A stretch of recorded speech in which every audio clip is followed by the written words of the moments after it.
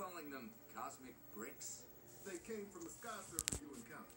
I've given Reed Richards the job of finding out why everyone seems to want them.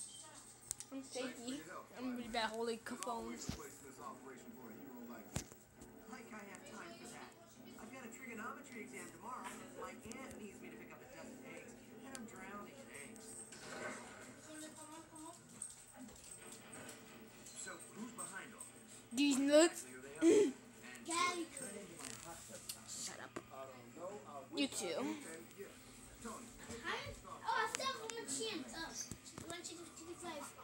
what, what, Yeah, 400. Woo, guys, look. I got an achievement. Woo. I, Achievement unlocked live. Woo, guys, look